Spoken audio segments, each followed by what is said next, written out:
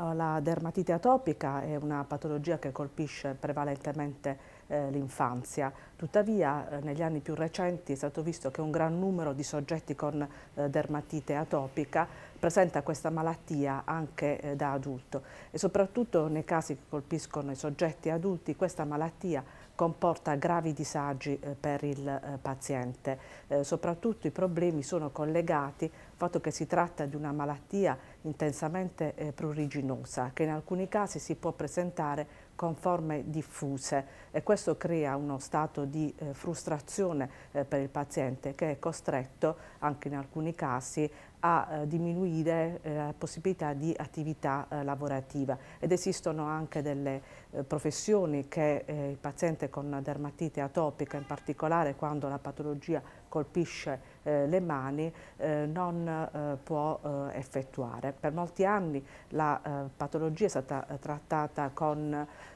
creme, con sostanze emollienti, perché uno dei problemi principali di questa patologia è la secchezza eh,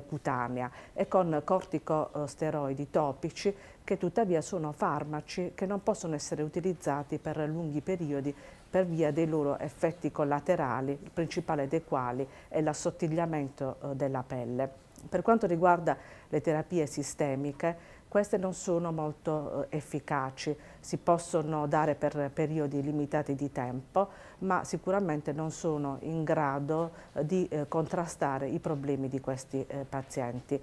Tuttavia sono state effettuate sperimentazioni con nuovi farmaci che sicuramente modificheranno lo scenario e le possibilità terapeutiche di questi pazienti.